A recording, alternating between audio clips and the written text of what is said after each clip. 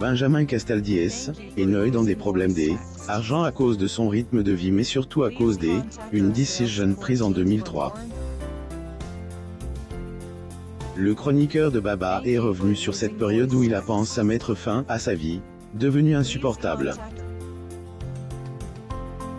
Au jour, oui, Benjamin Castaldien, et plus le Castaldidé, avant.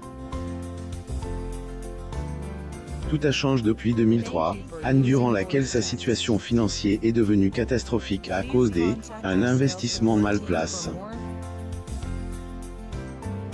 Ajoute à cela, un divorce très compliqué et conflictuel. Au bord de la dépression, pensant avoir tout perdu, le père de famille pense mime à se foutre une balle dans la tête. Retour sur ces situations extrêmement compliquées où il est, et fait broyer par ses problèmes. Benjamin Castaldi assiste à l'Open de France à Roland Garros le 2 juin 2015 à Paris, France. Source. Getty image la vie d'une célébrité descendant des, une famille des, acteurs, des, écrivains et réalisateurs, Benjamin Castaldi, lui, a pris à contre-pied tout le monde et a préféré suivre des études de sciences économiques. Sans doute que les passions N, étaient pas les mimes, mais de toute façon, il voulait réussir par ses propres moyens et non en tant que fils d'eux.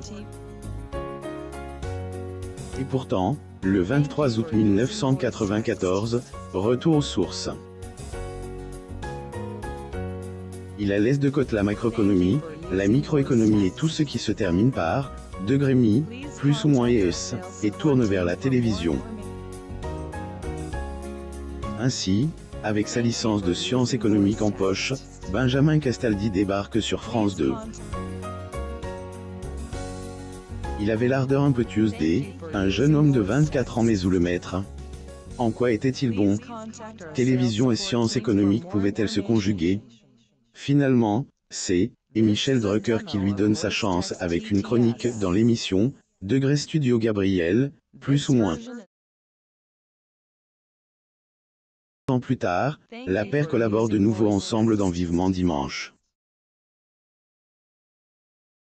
Romain Castaldi assiste à la conférence de presse de Miss Boat National 2019 à SBS Patrimoine le 18 septembre 2018 à Paris, France. Getty Image Castaldi a, ensuite, est transfert sur TF1, enchaînant ses apparitions dans plusieurs autres émissions.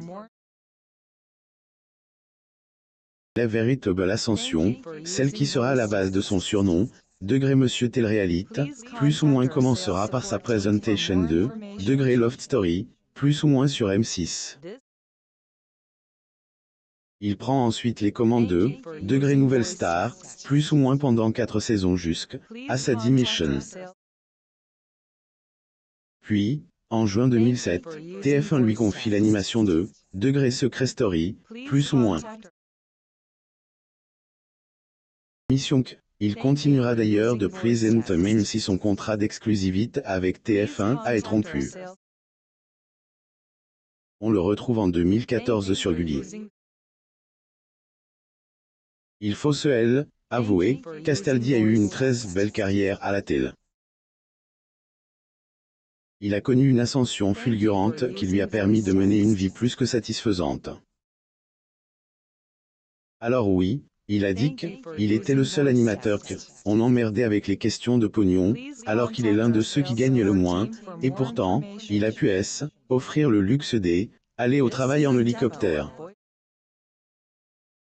Finalement, à qui peut, veut. Toute sa vie et celle de sa famille a été bouleversée à cause des un investissement dans lequel il a perdu l'économie de toute une vie. Tout perdre Benjamin Castaldi a investi 4 à 5 millions d'euros dans un immeuble, comportant une vingtaine d'appartements à Tulle, en Coas. Projet immobilier pour lequel il avait mis tous son ses droits d'auteur et ses espoirs mais également les économies de toute une vie. Il a payé cher puisque c'est, apparemment une arnaque. Immeuble qui lui a coûté une fortune ne valait plus grand-chose, si c'est N, et rien, après quelques années. Chroniqueur a évidemment saisi la justice francaise mais pour le moment, aucune décision a encore été rendue. Elle, immeuble a été saisi et lui, il accroule sous les dettes à cause de cette arnaque immobilier. Ils m'ont mis sur la paille, les économies de toute une vie.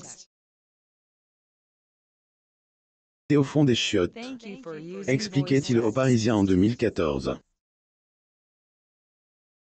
Leur vie a été chamboulée du tout au tout. Au lendemain, il n'avait plus rien. C'était ruine. Chena pointe le bout de son nez. Tout est devenu compliqué. Le plus dur a été son impact sur sa famille. Degré j'étais prive de chéquier et de carte bleue. Mais le pire, et le plus douloureux, était ailleurs. Impossible d'oublier le regard de mes enfants découvrant que le Père Noël n'avait pas pensé à eux. Image de Bill. Je ne peux plus payer les pensions alimentaires à mon ex-épouse Valerie. Vient ensuite le moment délicat, humiliant, de demander à ma femme, Vanessa, de vendre ses bijoux, plus ou moins raconte-t-il dans son autobiographie, degré pour l'instant, tout va bien, plus ou moins. Lui, Benjamin Castaldi s'est refait une centre financier, notamment grâce à Cyril Hanouna qui l'a engage dans TPMP. Il gagne beaucoup moins des argent mais il vit très bien. Je vis normalement, plus ou moins dit-il.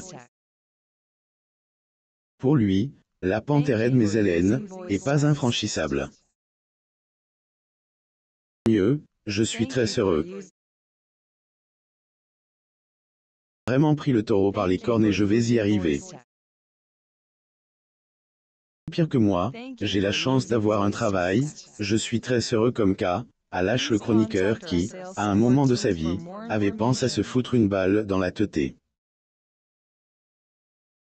Le courage chez ses enfants Castaldi a connu une véritable traverse du désert pendant plusieurs années. À part cette escroquerie dont il a été victime et les soucis financiers qui en ont de cool, elle, Ex-présentateur de Degré Secret Story, plus ou moins a dû faire face à un divorce très compliqué et conflictuel. Un cumul de beaucoup trop de choses le plongeant dans une véritable depression. C'est, était de trop. J'ai pensé à me foutre une balle dans la teuté, plus ou moins a-t-il confié en expliquant que célèbre ou pas, au top ou en bas, il y a des moments où on est totalement perdu, on ne sait plus à quoi se raccrocher. Apparemment, à un moment on se dit, degré à quoi bon continuer à se battre? Plus ou moins lorsqu'il croyait ne plus avoir d'issue et que le regard des autres devenait insupportable, il appuise la force nécessaire chez ses enfants. Il devait surmonter cette dépression, ne serait-ce que pour eux. Degré parfois, la pression elle est trop forte. T'as plus de boulot, t'es chez toi, on t'a pris ta maison, qu'à devient un peu lourd. On pense aux enfants, on se ravise mais c'est long à remonter, dit-il. Au jour, oui, elle, ancien multimillionnaire menune, degré vie normale, plus ou moins et essaie de rattraper le temps perdu loin de ses garcons. Le bout du tunnel N, est plus aussi loin. Pensez-vous que S, il a la chance de ne gagner ne serait-ce que la moitié de ce que il touchait à ses heures de gloire, il saura résister à un rythme de vie qui pourrait de nouveau le ruiner. Dites-le nous dans les commentaires. Abonnez-vous à Mo Mama sur Google News pour lire plus d'articles sur vos célébrites.